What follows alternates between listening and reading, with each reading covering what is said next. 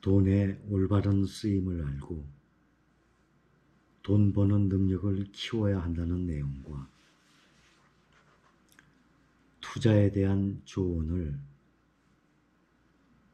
미국에 있는 아빠가 사랑하는 딸에게 보내는 편지 내용입니다.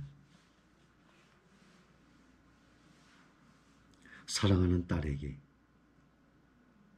아빠는 지금까지 너를 크게 혼낸 적도 거의 없었고 네가 좋아하는 일이라면 되도록 제한하지 않으려고 노력했단다. 그 이유는 내 인생을 아빠의 생각대로 살아가게 할 수는 없기 때문이야. 그래서 가능한 많은 자유를 주려고 했던 거야. 하지만 최근 너를 지켜보면서 조금 걱정이 되더구나. 그래서 오늘은 너와 돈과 관련된 이야기를 하려고 해. 먼저 작은 돈을 대하는 태도에 대해 얘기해 보자꾸나. 아빠가 그동안 네게 절약을 특별히 강조하지 않은 것은 나중에 돈에 너무 인색한 사람이 될까 걱정이 됐기 때문이야. 우리는 물론 내가 꿈을 크게 갖기를 바라지만 그렇다고 해서 작은 돈을 하찮게 여기면 안 된단다. 예전에 너는 아빠 차를 세차하고 용돈으로 5달러를 받아 밀크티를 사 먹곤 했어. 때로는 이어폰 등 필요한 물건을 사기 위해 정원 청소를 자처하기도 했었잖니. 아빠는 이것이 스스로 용돈을 버는 아주 좋은 방법이라고 생각했단다. 그런데 최근에 내가 세뱃돈을 너무 많이 받은 것 같구나. 물론 세뱃돈을 많이 받은 건 좋은 일이야. 훗날 여윳돈으로 쓸 수 있으니 말이지. 하지만 이것 때문에 집안일을 해서 용돈을 버는 데는 흥미를 잃은 것 같아. 게다가 세뱃돈을 내가 응당 받아야 할 돈으로 생각하고 있는 것 같아서 아빠는 조금 걱정이 되는구나.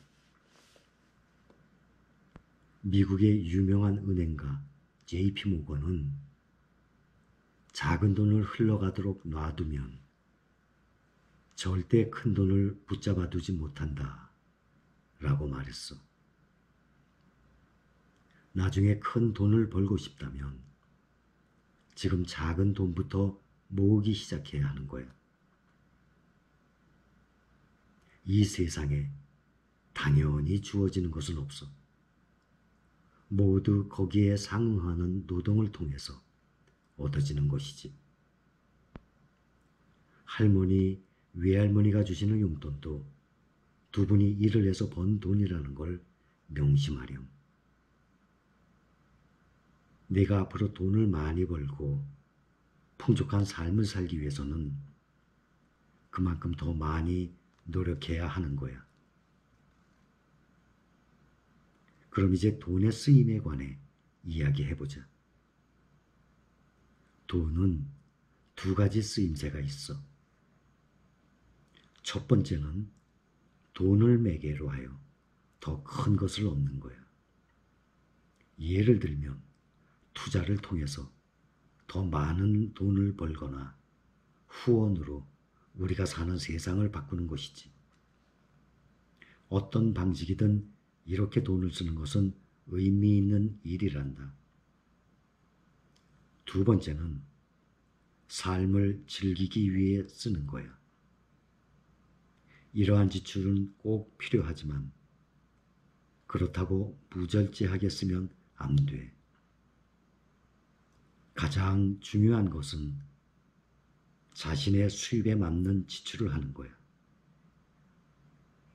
내가 무언가 갖고 싶다면 먼저 그만한 돈을 번 다음 소비를 해야 한단다. 이 순서는 절대 뒤바뀌면 안 돼. 나중에 빚을 지지 않기 위해서도 그렇지만 그래야만 계속 일을 하고자 하는 동력을 얻을 수 있거든. 미국에서는 자신의 노력으로 가난에서 벗어나 성공을 이루고 다시 사회에 환원하는 정신을 높이 산단다. 미국 국부들 중에도 이를 실천한 사람들이 많아. 벤자민 프랭클린, 토머스 제퍼슨 등이 대표적인 인물이지. 앞에서 잠깐 언급한 금융업계의 거장 JP 모건도 이러한 사람들 중 하나란다. JP 모건 그는 삼시세끼 풍족하게 먹을 수 있는 집에서 나와 자신의 노력으로 미국 역사상 가장 유명한 투자자이자 부호가 되었어. 그가 남긴 말 중에 인상 깊은 명언이 있어. 진정한 친구를 얻는 것은 어렵지만 친구 하나를 잃는 방법은 굉장히 간단하단다. 가장 효과적인 방법은 그에게 돈을 빌려주는 것이다.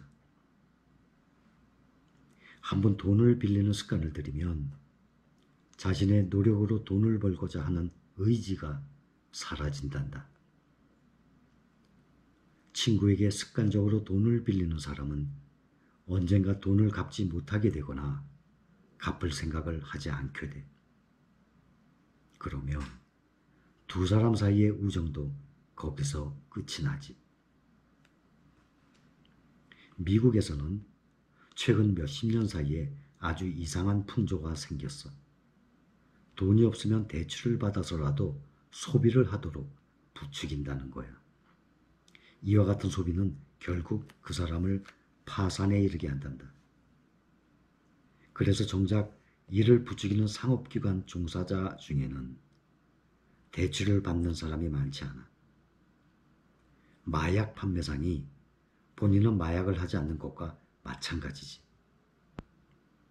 그러니 돈을 쓰기 전에는 반드시 먼저 대가를 치를 수 있는 돈이 수중에 있는지를 확인하는 습관을 가지렴. 오늘 하고 싶었던 이야기를 정리해 보면 돈은 반드시 번 다음에 써야 한다는 거야. 또 큰 돈을 벌고 싶다면 작은 돈부터 차근차근 모야, 모아야 하고 돈을 많이 모은 다음에는 제대로 쓸 줄 알아야 해. 사랑하는 딸에게 아빠로부터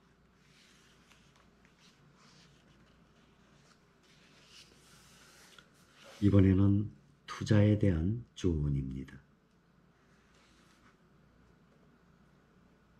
사랑하는 딸에게 여름방학 때 인턴으로 일하면서 번 돈을 투자하고 싶다는 내게 굉장히 좋은 생각이라고 말해주고 싶구나. 아빠는 너의 그런 생각을 응원해. 장기적으로 보면 물가는 꾸준히 상승하기 때문에 돈을 은행에 묶어 놓으면 결국 가치가 조금씩 떨어지게 된단다. 하지만 주식시장에 투자하면 경제가 성장함에 따라 수익을 얻을 수 있으니 더 많은 돈을 벌 수 있지. 투자 방법에 대한 이야기를 해보자. 내게 해줄 수 있는 제안은 다음과 같은 이야기야. 첫째, 절대 내가 시장을 이길 수 있을 거라는 생각을 하면 안 돼. 다시 말해, 자신의 감각이 인덱스 펀드보다 낫다고 생각하면 안 된다는 거야. 전문가인 펀드 매니저들도 대부분 자신이 관리하는 펀드의 수익률이 시장 지수보다 높을 거라고 예상해. 하지만 현실은 매년 70%의 펀드가 S&P 500 지수에도 못 미치고 있고 최근 5년, 10년 동안 80%의 펀드가 시장 지수보다 낮게 나타났단다. 왜 전문적인 투자자들이 시장을 뛰어넘지 못하는지에 관해서는 스스로 분석해 보기를 바란다. 한 가지만 알려주면 시장을 뛰어넘으려는 사람은 시장에 있는 다른 투자자들을 상대하는 것이 아니라 시장의 효율성에 도전하는 거야. 다시 말해 미시 경제학의 기본 원칙에 도전하는 것이나 마찬가지지. 그러므로 90%의 개인 투자자들에게 있어서 가장 좋은 투자는 S&P 500 지수를 대량 매수하는 거야. 이것은 투자자의 대가인 워런 버핏도 인정한 투자 원칙이란다. 워런 버핏은 자신의 유서에 유산의 대부분을 S&P 500 지수를 사는 데 쓰라고 명시해 놓았어. 그가 얼마나 이 지수를 신뢰하는지 알 수 있겠지. 둘째, 시장에 대한 믿음이 있어야 해. 주식 시장은 오를 때도 있고 떨어질 때도 있고 갑작스럽게 폭락할 때도 있단다. 하지만 역사적으로 볼 때 주식은 여전히 가장 좋은 투자 방법이야. 그래서 내가 주식에 투자하겠다고 말했을 때 적극적으로 동의한 거란다. 만약 워싱턴 대통령이 취임했을 당시 내가 100달러를 주식시장에 투자했다면 지금 그 가치는 200억 달러가 되어 있었을 거야. 이건 예측이 아니라 실제 결과란다. 셋째, 시장은 하락세를 보이다가 다시 반등하기도 하지만 개별 주식은 꼭 그렇지 않을 수도 있어. 그동안 다우존스 지수와 S&P 500 지수의 수익은 비슷한 수준을 유지해 왔어. 때때로 큰 기복이 있긴 해도 꾸준한 상승세를 보이고 있지. 넷째, 내가 너에게도 여러 번 말했듯이 성공의 가장 중요한 요소는 바로 인내야. 인내는 투자를 할 때도 굉장히 중요해. 과거 45년 동안 미국 주식시장의 연평균 수익률은 대략 7% 정도였으니 자산은 대략 20배 정도로 증가했을 거야. 현명한 투자자는 주식시장에 꾸준히 투자하지. 최저가와 최고가 투기를 노리지 않아. 그러니 나쁜 운을 피해가려면 시간을 좋은 친구로 삼고 꾸준히 인내하는 방법밖에 없단다. 정기 적립식 투자는 일정 기간마다 주식시장의 등락과 관계없이 고정된 금액만큼 사는 거야. 주가가 상승하면 고정된 금액으로 살 수 있는 주식의 양이 줄어들고 주가가 하락하면 살 수 있는 양이 늘어나게 된단다. 이렇게 하면 평균 구매 비용은 비교적 낮아지게 되지. 물론 이런 투자를 하는 사람은 먼저 시장에 대한 믿음을 가져야 해. 주가가 상승하면 사람들은 대부분 가격이 너무 비싸다며 다시 하락할 때까지 기다리려고 하고 주가가 하락했을 때는 가격이 더 떨어질까봐 쉽게 구매하지 못해. 가장 좋은 방법은 자신을 바보라 생각하고 가격이 올라도 사고 떨어져도 사는 거야. 마지막으로 내게 하고 싶은 말은 주식을 사고 나서는 가격 변동에 일이 일비하지 말라는 거야.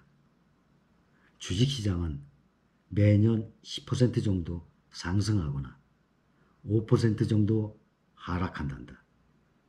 이러한 등락폭은 하루 만에 결정되는 것이 아니야. 주식시장에서 매일 2, 3% 정도 가격 변동이 일어나는 것은 아주 정상적인 일이야. 어떤 사람들은 주가가 올라가면 자신이 마치 주식의 신이라도 된 것처럼 의기양양해졌다가 주가가 하락하면 갑자기 의기소침해지기도 하는데 이런 사람은 주식 투자에 적합한 사람이 아니란다. 매일 주식에만 매달려 있는 사람은 주식시장에 돈을 보태주는 일만 할 뿐이야. 진짜 돈을 버는 사람은 바로 끈기 있게 기다리는 사람들이지. 특히 너와 같은 젊은이들은 주가가 상승하기를 기다릴 시간이 충분해. 그러니 일단 주식을 사고 나면 주가의 등락에 너무 신경 쓰지 말거라. 이것이 아빠가 내게 해줄 수 있는 조언이야. 부디 도움이 되기를 바란다. 사랑하는 딸에게 아빠로부터.